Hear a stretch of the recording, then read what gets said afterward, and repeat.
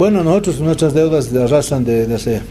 desde que desde hace 20 años atrás, más o menos llega casi a, estamos por los 100 millones de dólares, ¿no?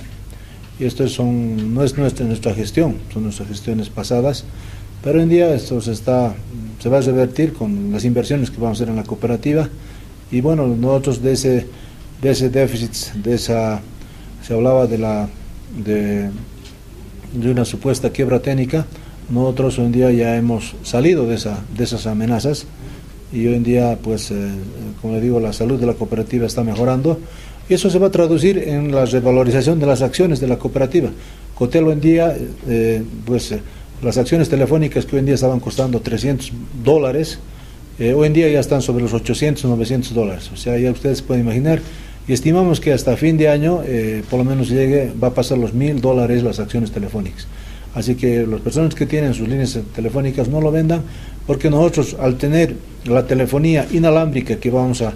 eh, estamos apostando por 100.000 líneas, pues eh, vamos a entregar no solamente una gemela, vamos a entregar la,